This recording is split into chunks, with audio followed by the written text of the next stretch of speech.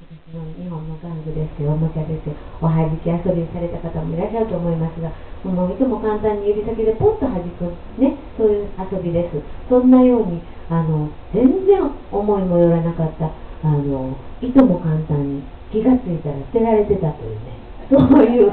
女性の歌なんです、実はね。まあ、暗い寂しい、え、の歌詞なんですけど、えー、そういうことを思わせないような、結構あっけらかんとした女性のような、えー、曲に仕上がりました。坂畑健吾先生作詞、杉本雅人先生作曲のおはじきです。木下ゆい子の新曲です。最後にもう一度お聴きください。